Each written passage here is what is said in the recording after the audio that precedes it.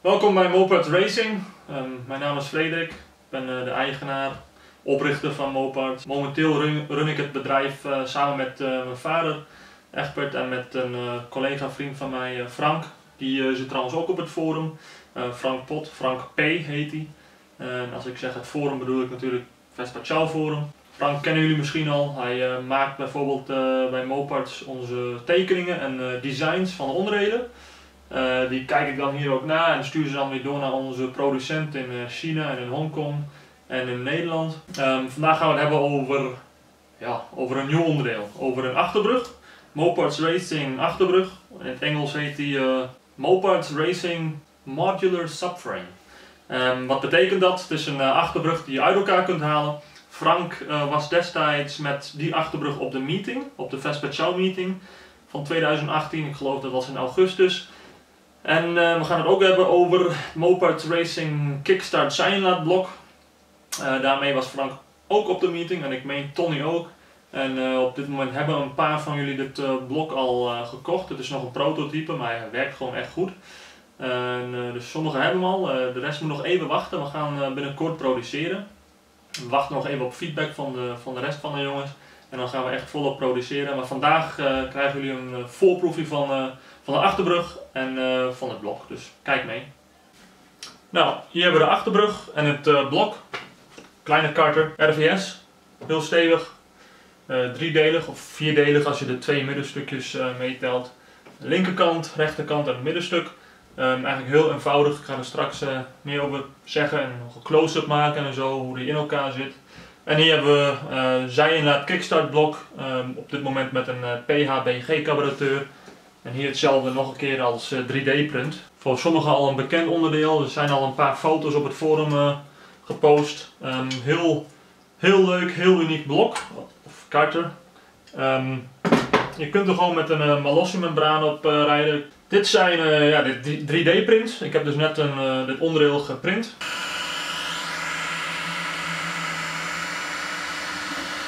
Two hours later. Um, maar het verschil is hier dus we hebben een aantal aanpassingen verricht. Um, Jelle bijvoorbeeld en een paar andere, Florian, Thomas en uh, weet ik veel wie, die hadden, die hadden zoiets van, kan je hem ook dichtmaken? Wij gaan hem dus in twee versies leveren. Hier zie je hem open, dus uh, lightweight. En uh, toen zei Jelle en Florian van, kijk even of je hem dicht kunt maken. En dat is heel makkelijk gedaan, dus hier heb ik de print. Zonder die openingen. Um, aan de voorkant blijven de openingen waarschijnlijk zitten. Dan kom je lekker bij je blok, bij je carburateur als je geen zijinlaat hebt of geen uh, kickstart blok. Uh, bijvoorbeeld als je gewoon het uh, Malossi blok hebt, dan kan je er gewoon heel makkelijk bij met een schroevendraaier. Dus dit, dit wordt weer open, dit deel hier. maar ik wilde hem even helemaal dicht printen. En de achterkant blijft dan wel dicht aan beide kanten. Um, ja, je wil dus vermijden dat er heel veel modder of ja, zand of wat dan ook in je snaar komt of naar je blok komt. Dus ja, vandaar gaan we hem, twee, twee versies gaan we aanbieden. Nou, we gaan met één hand filmen, met de andere hand werken. Dat wordt heel lastig, maar uh, ik hoop dat jullie het allemaal goed zien. Het is op zich bij, vrij eenvoudig, dit blok en deze achterbrug. Hier hebben we bijvoorbeeld de driehoekslagenplaat of de Moparts Racing achterwiel ophangingplaat, driehoekslagenplaat, achterwiellagenplaat, hoe je maar wilt noemen. Met de moer, achterwielmoer. Aan deze kant ook heel leuk. Ga hem even omdraaien de Moparts Racing uh, naafdeksel, of transmission lid. Nou, hier misschien een betere close-up. Dus de naafdeksel, in combinatie met de Moparts Racing uh, hybride Minarelli as. Uh, hier zijn verder nog een paar andere onderdelen, daar gaan we het straks over hebben. Nou, hier weer de achterbrug. Heel makkelijk eigenlijk. drie, nou ja, vierdelig design als je het zo bekijkt dat je twee middenstukjes hebt één rechterkant, één linkerkant. Makkelijk om de ene kant eraf te halen. Als je bijvoorbeeld bij je ontsteking wilt, contactpunten vervangen of wat dan ook, condensator, kering zelfs, hoef je het hele blok eronder uit te halen. Kan je gewoon de ene kant eraf halen. Haal je gewoon alle boutjes aan de kant hier los en klaar ben je. Ja, heel stevig. RVS. Gezet hier en daar. Dus hij fout echt niet. Hij is echt, echt, echt heel stevig. Hier zie je de Carter, of Racing uh, kick met de PHBG carburateur. De laatste update is verzonken boutjes. Zo heb je dus een iets korter inlaattraject. Dit is nog de oude versie. Dan zie je dus dat die iets hoger is. De carburateur komt dus 5 mm hoger te staan. Deze is 20 lang, deze is 15 lang. Uh, dus deze zijn ingezonken, deze niet. Dus hier komt je bout, uh, steekt als het ware een beetje uit. Nou ja, dat is uh, één verschil. Dat is dus nu in, in, de update al aangepast. dat kan je ook later gewoon aanpassen. Dus de mensen, er zijn volgens mij drie of vier blokjes in omloop. De mensen die nog het oude spruitstuk hebben, geen zorgen. We, we leveren dan gewoon een, een nieuw spruitstuk. Dat kan je gewoon zo uitwisselen. Het mooie aan dit blok of aan dit kaartendeel is, je kunt je huidige Malossi uh, membraan gewoon gebruiken. Dat is hetzelfde membraan wat op je Malossi uh, reed valve zit. Dus uh, heel eenvoudig om die gewoon over te zetten. Of die staan ook gewoon te koop voor een paar tientjes. Dus dat is een heel leuk setje. En ja, dat is zeg maar nieuw. En daarmee gaan we nu bezig om dat te produceren.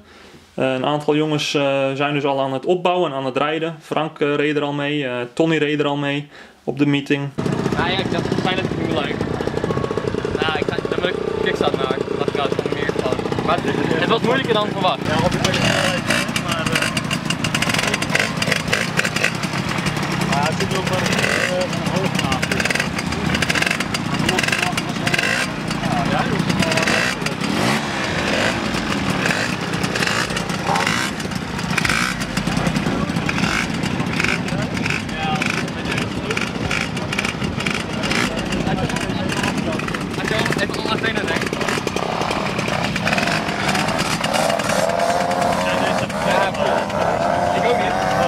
ja, Hij heeft maar een voorrem, hè? Verder heeft hij niks. Oh ja, nou, kom op goed. Achter dan past nou niet. Dat klinkt toch lekker. Hebt geen beenruimte, ik kan net zo goed in zetten.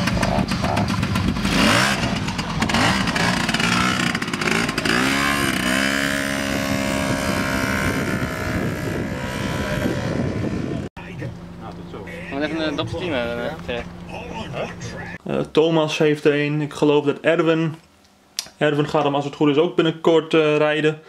Uh, misschien wel een tour, wie weet. Uh, en Vincent van het forum heeft hem ook. En die, die is er ook of gaat er ook mee bezig. Um, ja, heel leuk ding. Heel uniek. volgens mij is het nog nooit eerder geproduceerd. Dus daar zijn we wel echt trots op. Dat heeft Frank helemaal zelf ontwikkeld. dus echt. Nou ja, verder is er niet echt veel veranderd. We hebben hier een beetje een nieuwe indeling. Dit is mijn, hoe noem ik het, opslag in Zwitserland. Hier met deze onderdelen bedien ik zeg maar mijn Zwitserse klanten. Al 1 op 3 meen ik. Um, ja, wel lachen. In Nederland doet mijn vader, Egbert, de Europese klanten. En uh, Frank zit natuurlijk ook in, uh, in Nederland, in, in Groningen. En uh, die maakt de designs daar.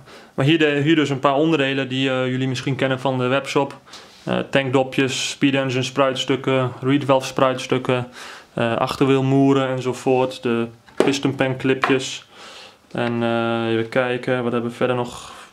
Adapter set voorwiel, depthbusjes, uh, ophangplaatsjes voor de schokbrekers voor op de chow. Dus de voorvorkdempers, gasveerdempers, voorvork uh, oliedempers, um, platen. Uh, ook een leuk onderdeel, niet van ons, maar van collega Elkan, ook van het forum, zijn de trackstart kits van Innovation, ook heel mooi. En nou, de 3D printer die ik gebruik om dat soort dingen te printen. Uh, kleine privécollectie, uitlaatjes, een Ziri en een uh, Simo 100cc. Um, ehm, deze gaan we nog binnenkort lanceren, of lanceren, deze gaan we opnieuw opbouwen. Dat is de Biturbo. Uh, er komt een nieuwe Nicasil of chroomwand in en dan gaan we die even ja, opjagen. Vliegwieltje, een paar uitlaatjes. Um, Porter vertanding geloof ik. 1 op 14 of zo, 1 op 13, 1 op 16. Dat heb je hier in Zwitserland. Dat is hier standaard. Dat was destijds, reden ze hier in Zwitserland op Vespa C, geloof ik, de, de post. Dus de postpodes en bezorgers die reden op een Vespa C.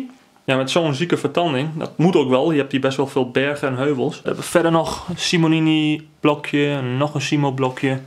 En dan hier nog de privéverzameling uh, aan onderdelen. Heel veel blokjes die ik nog wil opbouwen.